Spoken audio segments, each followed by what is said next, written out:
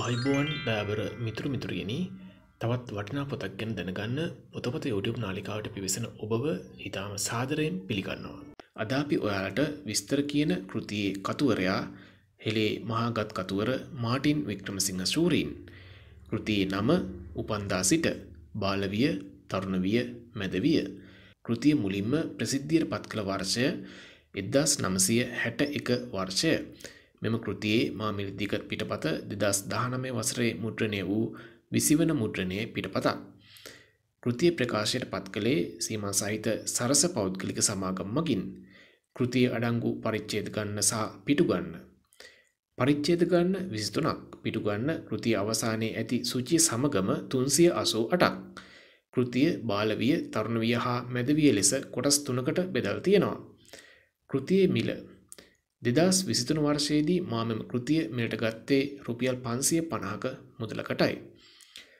කෘතියේ විශේෂ ලක්ෂණ හා කෘතියේ අන්තර්ගතය පිළිබඳව විස්තර. මෙම කෘතිය මාටින් වික්‍රමසිංහයන් රචනා කරන්නේ ඔහුගේ බාලවිය තරුණවිය සහ මැදවිය පිළිබඳව මතකේ රැඳී ඇති මතකයන් අව්‍යාජව ඉදිරිපත් කිරීම සඳහායි. කෘතිය සංඥාපනය මග කතුවරයා මෙම කෘතිය ගැන මෙහෙම කියනවා. උපුටා ගැනීම. මෙය ජීවන චරිතයක් නොවේ. නවකතාවක්ද නොවේ. මතකවතක්ද නොවේ.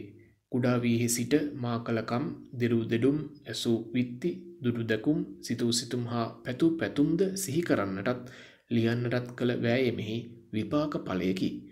උපන්දා සිට යනු ඒ විපාකඵල හැඳින්වන සංකේතයක් මිස නමක් නොවේ. උපුටා ගැනීම අවසන්. කතුවරයාගේ සමහර කෘති රචනා කිරීමට කරුණු එකතු කරගත්තේද ඔහුගේ නිවසිම්ම බව මෙම උපන්දා සිට කෘතිය කිය වූ විට වැටහෙනවා.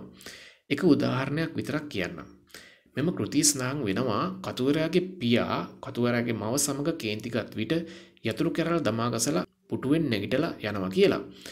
ගම්පෙරලිය නම කතාවේ කයිසාරුවත්තේ මුහන්දිරම් මාතරහාමිනය සමඟ කේන්තිගත් විටත් යතුරු කැරල් දමාගහලා පුටුවෙන් නැගිටල යාම කරන බව දක්වන්න පුළුවන්. මේක උදාහරණයක් පමණයි. එද්ද සඩසි අනුව වසරේ මැයි මාසේ විසිනමේ උපන් මාටිං වික්‍රමසිංහයන් මෙම පොත රචනා කරන විට වයස අවුරුදු හැත්තෑ එකක්.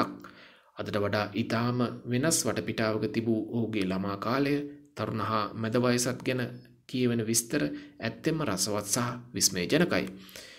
වර්ෂ එදස් නමසීය මුල් කාලේ සිට රටතොට විත්ති චාරිත්‍රවාරිත්‍ර සිතුම් පැතුම් ආදී සියල්ලම දැනගන්නටත් මෙම මහා කලාකරුවාගේ ජීවිතය පිළිබඳව විස්තර දැනගන්නටත් ඔබත් නොවැරදීම මෙම වටිනා කෘතිය කියවෙන ලෙස කාරුණිකව ආරාධනා කරනවා.